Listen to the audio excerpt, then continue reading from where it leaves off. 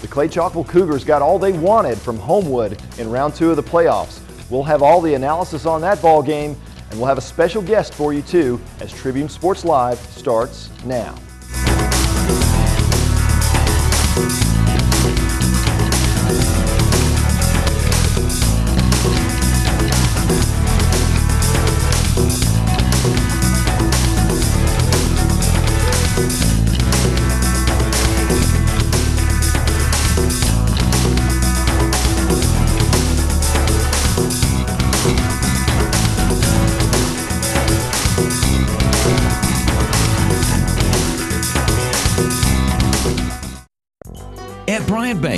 Focus on you. You'll never have to worry about being just another number in the system. When you're a member of the Bryant Bank family, our Bryant bankers will work to understand who you are, where you want to go, and how we can help you to get there. We're big believers in developing relationships with our customers, and we value friendships we make along the way. Bryant Bank provides unbeatable service and legendary results. Bryant Bank, member FDIC, and equal housing lender.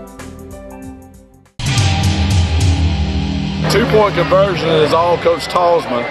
We checked into a different coverage and we, we robbed the corner because we figured they were going to throw over there to number five, and they did. And so that was a big, big, humongous play. So hats off to Jamarlin and Coach T for coming up with that. And then the fourth down, we checked into a, a, bear front. We hadn't shown them all night. That, that was big for us. Probably should have went through it a little bit earlier. But look you know you, go through years where there's going to be that game. The second round game for everybody is the danger. That's the danger. And uh, I, I, was scared of this all week man. I, did, I didn't feel good in my stomach all week because that's a talented football team coach your team maybe more so than any other time this year really had to work through a lot of adversity tonight. How'd you feel about the way they responded to that time in, time out? Well, be honest with you, I'm happy they won. I'm happy we made the play down there, but it was not a good effort for us, uh, period. I mean, overcoming adversity, stopping them on fourth down. You know, if they make that, all we got to do is recover the onside kick and it's over anyway. So, you know, it's just a lot of things. It just was one of those weeks. And, and it, it seems like it's always this way in the second round. All right, buddy. All right, Cole, congratulations on another win, man. Uh, obviously, moving on now into the third round. Uh, just how does it feel, man? Defense had to step up and make a lot of plays tonight. Uh, how'd you feel about that two-point conversion you got stopped down there? Um, you know, that was a critical point. You know, we knew they would go out, you know, try it. And uh, Jamarlin Sewell made a heck of a play, you know, making the interception, you know you know, our coaches are hands down, you know, best in the state. You know, they scheme it up perfectly for us. Absolutely, man. Uh, just, you know, you guys haven't been in a lot of games like this this year where it's really back and forth and got to work through a lot of adversity and things like that, man. How do you feel like uh, you guys responded to that, John? Uh, you know, uh, this game kind of reminded me of the Hillcrest game. You know, we had that last uh, two-point conversion, you know, and it came down to the game.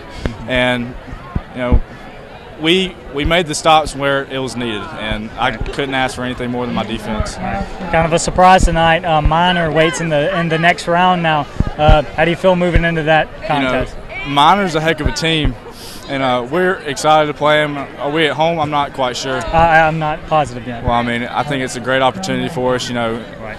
you know we got to prepare them like any other team. You know, it's like a lot of people say it's hard to beat a team twice, so we got to prepare. You know, just as harder. Right. Welcome back. Trussville Tribune editor Chris Yao joins me to talk about the Clay Chalkville Cougars and their big victory over Homewood. Chris, welcome. Thanks, Zach. It's nice to be here, man.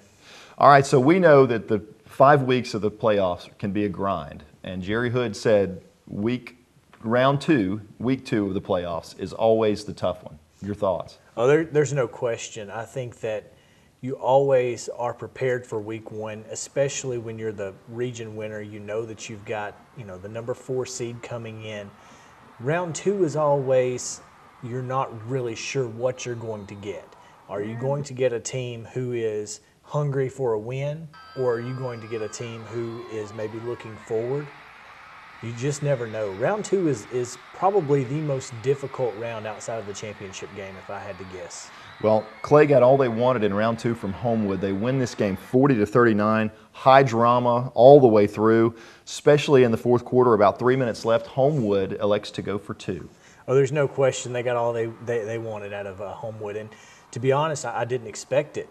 Um, but Homewood came out, they played fantastic football throughout the game, and with three minutes to go, they take the ball, drive down the field, put it in the end zone, and then decision time. I'm not sure, obviously, hindsight's 50 50 if you're Pat Dye, 2020 for the rest of us. But, you know, that they decide let's let's go for two here. And of course, big players make big plays in big situations, and Jamarlin Sewell made the biggest play of the night, uh, possibly, at least until that point, for Clay Chalkville with the interception of the two point conversion. Yeah, he steps right in and makes the interception. Then Homewood comes back, recovers the onside kick, and the drama continues. Oh, that was drama at its finest. Uh, you, you know, obviously, onside kicks are never a given, even with the fantastic size and hands that Clay Chalkville has. But, you know, Homewood gets the onside kick, and then Clay Chalkville has to step up their defense after giving up a, a big touchdown drive. Obviously, you know, they had a little momentum from the two point conversion, but you get fourth and inches. And uh, Coach Jerry Hood said that they went to a defense they hadn't shown for the entire evening. And their, their big guys made a play. And that's what you have to do. Again, big time players make big time plays. So they stuff Homewood's Derek Underwood on that fourth and inches. They take over, they pick up the first down, and seal it into round three. They did. And that's what you do. When you are a champion, champions find ways to win games. And Clay Chalkville has done that throughout this season. They, they've obviously had some blowouts, but they've also been tested. Uh, I, I think the Hillcrest game really put them in a position to to know how to win in a close setting. So they they knew what to expect and they knew it was going to be a fight and they did what they had to do to win the game. Jerry Hood said that his team was a little bit sloppy in this one. Ty Pigrome wasn't sloppy, 11 for 15, uh, only 135 yards passing on the night, but he throws four touchdown passes, and then he also runs for 240 um, and two more touchdowns. So just a great night for him again. Ty Pigrome is an anomaly. Um, you know, great high school quarterbacks come around once in a blue moon. We don't see them a whole lot around here. We've been very fortunate in this area to see several very good quarterbacks. Uh, Ty Pigrome is just another one of those. He has been fantastic all season. When he realized that, you know, maybe he wasn't going to be able to make the plays with his arm, that he had to do something different. And that, and that makes him a different player. I think when he realized that he was not going to be able to make plays with his arm, he had to do it with his legs, he was able to do it. And I think that was that was really something that that turned the game for Clay. You know, he, he was able to to extend drives and extend plays. Well, I agree with you. He's a generational type player. He's 28 and 0 as a starter now, and, and we were talking about the player of the week earlier uh, off the air. And we said, well, you could give Ty Pigrome the player of the week from Clay Chalkville literally every week. Just about. There's no question. And, and this week is no different. I don't think he will be. But I, I think that if you go by the numbers, Ty Pigrome is by far the most valuable asset that the Clay Chalkville offense has. And that's not a knock on TJ Simmons and Nico Collins because someone has to catch the ball. But, and, and those two guys make it a little bit easier for Ty, don't get me wrong. But Ty consistently makes plays when plays aren't there to be made. Well, the big story of this game may not have been Clay's offense. It may have been Clay's defense, and they and the way they stepped up. You know, they're they're kind of unheralded. They get a lot of flack. They you know people say they give up a lot of points, but boy, they make plays when they need to. They do. Uh, I think that especially you know if you go back to the Hewitt Trussville game and, and the Hillcrest game, even especially you know they gave up 400 yards rushing. You know, it was a, a, a, really a testament to their defense that they have been able to stay strong throughout the year. I, think that, you know, a good rushing team gives them problems. And obviously, you know, Homewood was able to do that. They were able to run the ball successfully, uh, keep the ball out of Clay's hands for, you know, several minutes at a time. And that, that was one of the big reasons that this game was so close.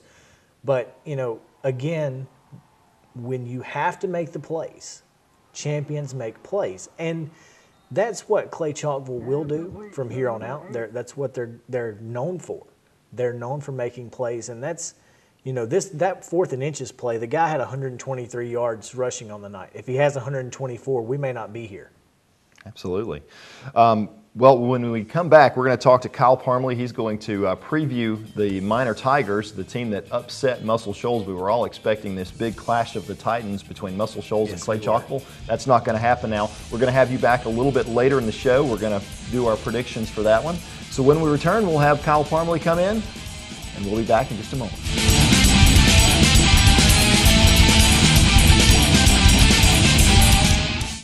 Trussville Vision Care is now proud to offer sports vision training for athletes. This sports specific training improves hand eye coordination and reaction time. As a former college athlete, Dr. Steele knows how important perfect vision is to succeed on the athletic field. For athletes, 2020 vision is not enough.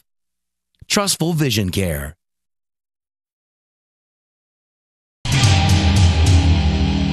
Welcome back. We have a special guest tonight, Todd Gerelds the author of the book Woodlawn. I'm sure you've probably heard about it in the movie. Um, Todd, welcome. Thank you. Appreciate so, it. a lot of people don't know this. You actually grew up your first few years here in Trussville. Yes, I did. Actually, after Dad left coaching, uh, he, he got out of coaching for seven years. And so in third grade, I moved to Trussville and I went to school here up until he got back into coaching, which was the end of my 10th grade year. Gotcha. So tell us a little bit about the book and how it came about. Sure, it's uh, you know I, I, when you're a, a kid, uh, there you're seeing everything for the first time, so you don't really realize the profundity of things at the time. So it wasn't like as a child I said, "Man, what an amazing story! I'm going to write a book." I didn't do that as a seven-year-old, but uh, the older I got, the more I realized how profound this story was, uh, particularly as I got exposed to more and more uh, things that, that really showed me how amazing what God did at Woodlawn was. Um, and so uh, before my dad died, he was di- diagnosed with cancer about 13 years ago. And before he died, I began interviewing him and, um, and writing notes just uh, about, and, and I even recorded conversations thinking this is a story that should be told at some point. And really nothing really happened with that other than I, I started writing a few things here and there about eight years ago, nine years ago, the Erwin brothers called me, and they had heard the same story from their father growing up, who was the chaplain on my dad's team, Hank Erwin. And they called me and said, "We have an idea about something, you know, for a film we think would be good." And we just talked, and that was pretty much where we left it. Then about four years ago, they called me and said, "We want to revisit this. We really want to do this." And so they had me come in and filmed me uh, on on camera for two hours. They asked me questions, and I told the story. And I really, at the moment, at the time, just thought how cool this was, you know, to get to to do this and the possibilities with it. At the end of the conversation, they said, "Here's a contract. These are the book rights to the movie we're going to do." And we'd like to base it on your book. And I was like, well, that's great, except I haven't written the book yet. And they were basically like, well, get on it. So you had some incentive to write your book. Yeah, at that point, even it was something I wanted to do. And at that point, um, I was I suddenly had a timeline, which I think is oftentimes necessary for any of us sure. to get something done. And so I started writing it. So the book and the movie, how how are they similar? How are they different? That's a great question. It comes up a little bit. The uh, they are, I would say that um, they're, they're done for two different reasons. Um, the movie uh, has a definite mission uh, uh, and, and, a story that it's telling that is true based on you know, the true story, but not necessarily in the particulars. When you have a movie, uh, you're having to compress a lot. I covered probably seven years in the book, and they only covered 1973 74 Woodlawn football seasons. And so a number of things that happened particularly what they did was they compressed a lot that may have happened earlier, where they placed the pivotal character, Tony Nathan, in the middle of a lot of things. So um, they're very similar in the overall st- story that they tell, where they may be off in certain things. And they may, you know, they use, they didn't, didn't maybe, they did use artistic license to create certain characters to illustrate things that happened that would have taken another hour in a movie that you just don't have. So, um, you know, there definitely are things in the movie that, that didn't occur or maybe um, a bit hyperbolic, you know, um, sure. in terms of what they're, how they convey certain things. But uh, the Nathan family and the Gerelds family, you know, we all saw the script. We all seen the movie. We love what that was. The book is a straightforward account of here's what really happened. kind of in the chronology that it occurred. And so they serve different purposes. So for somebody who wants the, the background and, and some of those things, um, you know, if because there have been some Woodlawn people that didn't happen. Uh, well, we know, but things like that occurred in the years preceding all this, and so Sure. you know, you take that how, how it goes. So, are you surprised at, at the success of the movie, and, and did you expect that? Really, I've, I've not been surprised, not so much because uh, of, really just because it's such an amazing story. It's, I actually told Nick Bishop and Kevin Sizemore, who are two of the actors, Nick plays my dad and Kevin Sizemore plays Jerry Stearns. We went out after the Birmingham premiere, and I told them, I said, I'd actually be really, really surprised if, you know, I, I, if this gets good reviews, I won't be surprised. But I won't be surprised if it doesn't, but it won't be because of the quality of the movie. It will be because it is so contrary to the worldviews of those giving the criticisms. I said, but anybody who watches this movie, it's undeniable it's an amazing story. It's a great story. The acting and the cinematography is, is unparalleled. It's, it's outstanding. And so if they don't give it good reviews, it will only be because it flies in the face of their worldview. And so um, I'm not surprised because it's it's it's a very compelling story. And uh, your wife is a writer too, I hear. Yes, she is. She's written a number of devotional products. She does a lot. We have four daughters. Uh, she writes a lot geared toward young women and, and girls. Um, has done uh, the Princess uh, the Princess Bible series and something called Brave Girls and a number of other devotional products over the years. Fantastic. Well, it's a great book, and it's it's one of those things where I think it's one of those things that's really needed today. You know, we need to look back and, and see how we can come together, Amen. and and it's just you know one of those things where you know, you look at some of the stories out there today and, and race relations, and, and, we need to realize that, you know what, we can come together. So the book's called Woodlawn. The movie's called Woodlawn. Todd, thank you so much for being here. Thank you. I appreciate it. All right, we'll be back in just a couple of minutes.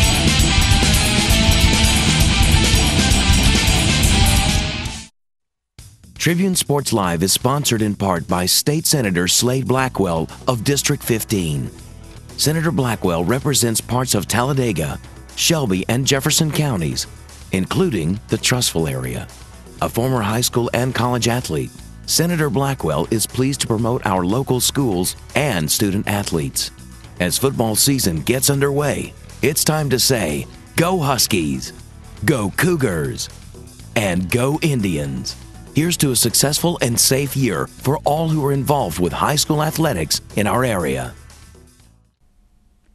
We'll expect clear skies Friday night as Clay Chalkville travels to Minor for the playoff game, but it will be cold. The high Friday will only be around 59 degrees and the overnight lows will be around 40 degrees, so grab your cold weather gear for the game. Jefferson Memorial Funeral Home and Gardens is home owned and operated by the Seal family. I've known Eddie Seal and his son Adam for over 25 years. They're community oriented and, more importantly, good folks who know how to take care of people in their time of need. That's how Jefferson Memorial became Trussville's funeral home and cemetery. Jefferson Memorial is located at 1591 Gadsden Highway. You can call them at 322 0543. Before your need arises, let Jefferson Memorial family take care of your family. All right, welcome back. Kyle Parmley joins us to preview the minor Purple Tigers. Kyle, welcome. Glad to be here. All right, so tell us a little bit about minor. Uh, the uh, Clay Chalkville Cougars beat them earlier in the season. It was the first game for minor, the second for Clay Chalkville. Yeah, Clay Chalkville really just kind of kind of handled the game overall. They beat them 49 to 15. Uh, but yeah, it was Minor's first game of the season. But uh, you know, some of our area got to see them towards the end of the regular season. They beat Pinson Valley, played really strong defense. They've got a lot of good athletes on offense, so they are they're a much different team than what Clay Chalkville saw early on. So their first round game, they go up to Albertville, they go up to Sand Mountain, they get out to a big lead, and then things get interesting. Yeah, they got outscored 21 nothing in the fourth quarter of that game. Uh, Albertville scores a touchdown with 30 seconds to go. They've got to go for two to tie it, and they actually got it on the first try, but the call it get called back because of like an interference or something, and so they fail on the next play. But they turn around and get the onside kick and have one last shot to the end zone that fell incomplete. So Minor held on for a two points two point victory, but a scare in the first round. And last week they do the unexpected that no one expected. Yeah. They beat Muscle Shoals. Yeah, this was this was setting up to be Clay Chalkville's big matchup. Undefeated Clay Chalkville, undefeated Muscle Shoals. And I'm not sure if Muscle Shoals just overlooked Minor or what, but Minor got out to a 13 point lead early. And Muscle Shoals brought it back to a tie game. They could have taken the lead, but their, their extra point after a touchdown was blocked. And Minor comes down with a 95 yard drive on the last drive of the game, and they cap it off. 40 yard Hail Mary pass with five seconds to go to win. Unbelievable finish in both games for Minor so far in the postseason. So, Minor really they're eight and four on the year. They've got four losses to playoff teams, correct? Yeah, they they've only lost to Clay Chalkville, Walker, Gardendale, and Homewood. All four of those teams are playoff teams this year. And yeah, like you said, they started off four and four. They've won six straight. And overall this year, they're two and four at home, but they're six and zero oh on the road. But they're they're going to be at home against Clay Chalkville, where they've only won two out of six this year. So they're a completely different team, really, from the beginning yeah. of the season. Looks like they're doing it a lot, running the ball and stopping the run on defense. What's the difference for this team from the beginning of the season to now? Well, I've talked to head coach George Bates of them from them a couple times this season, and um, they've got they've got one kid. His name's Jalen Adams, just an electric athlete, can do anything you want. Their only problem is they've only got one and he plays running back, he plays receiver. They get him the ball however they can.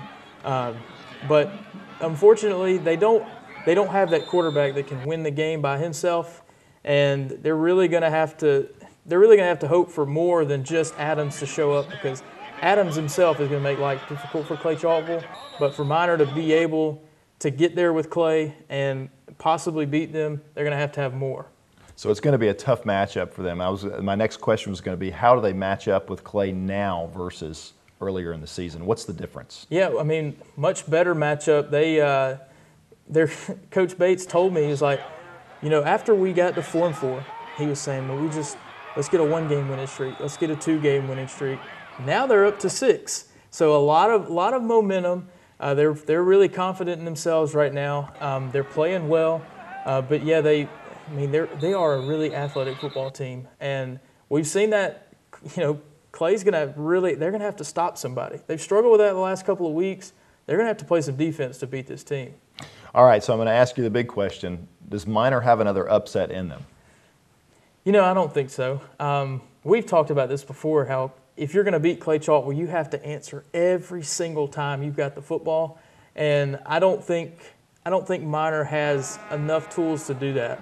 You know, I don't think they have that quarterback that you can look at in the huddle and say, all right, he's going to lead us and we're going to win this ball game. They've had two that have gone back and forth this year. So I think that, I actually think they'll give them a good game, but no, I don't think they've got enough to, to get over the get over the hill. All right, thank you so much. Uh, Kyle Parmley doing a great job again. Thank you, Kyle. When we come back, we're going to wrap things up. We'll have a player of the week from the Clay Chalkville Cougars and we'll have a prediction for you on the game. We'll be back.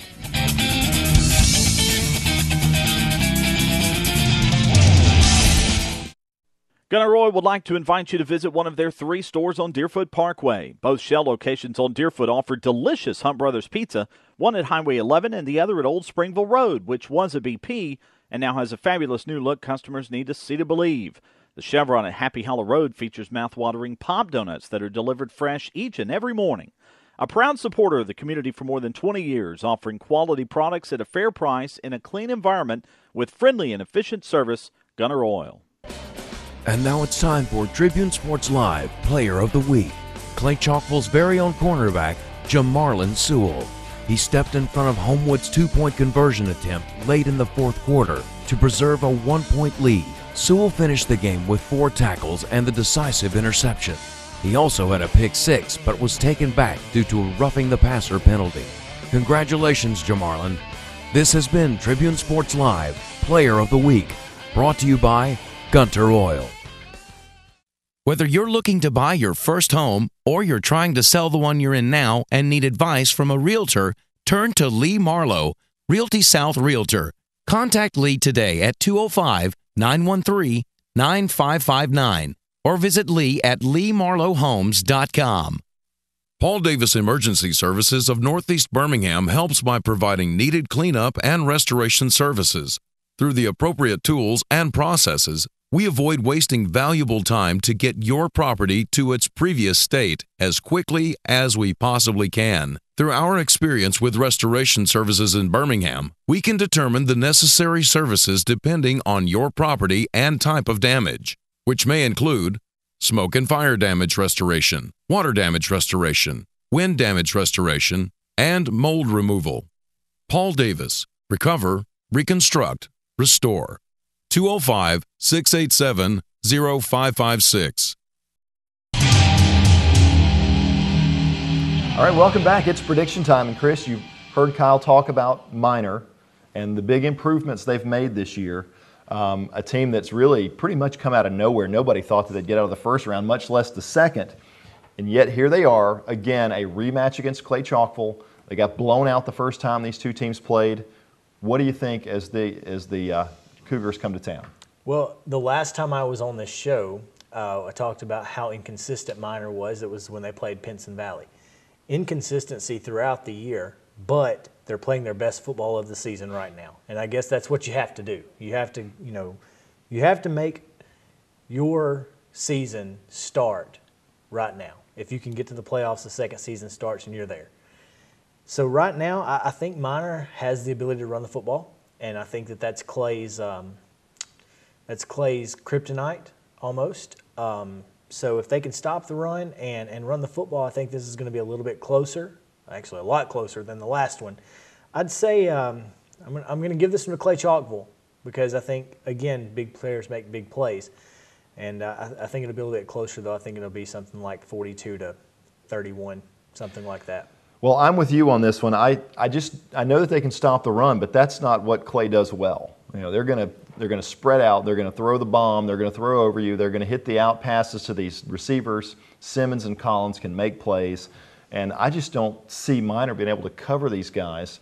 And I, I just don't see him able to get into a scoring match with Clay either. So I like Clay. I'm going to say 45 28 Cougars. The Cougars marching on, and what looks like it's going to be a huge matchup with Opelika down the road. Yeah, Opelika, boy, they, they put one on Hillcrest uh, Friday night, and, and that's a, another team that runs the ball really well. So I don't want to say we're on a collision course because clearly that anything can happen. anything can happen, especially this week because Opelika and uh, I believe it's Spanish Fort both undefeated, and Opelika has to travel. So we'll see. Um, but I'm really excited to see how the rest of this playoff season uh, unfolds, and I think that it's going to be something fantastic for everybody to watch. All right. Well, that's our show. Special thanks to Todd Gerelds who stopped by. Uh, great guy, great book. Uh, we wish him all the best. We'll be back next week and we'll be uh, reviewing this game, uh, the Minor Tigers and the Clay Chalkville Cougars. For Chris Young, I'm Zach Steele. Good night, everybody.